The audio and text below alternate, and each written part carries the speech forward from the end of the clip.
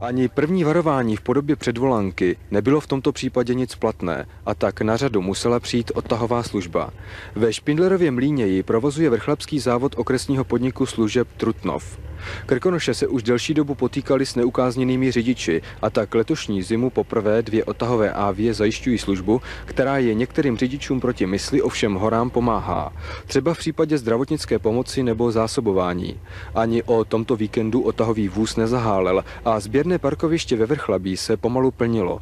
A nutno podotknout, že neukázněnost přijde v tomto případě na téměř 350 korun. O tento poznatek z Krkonoš je už letos bohatší téměř stovka řidičů.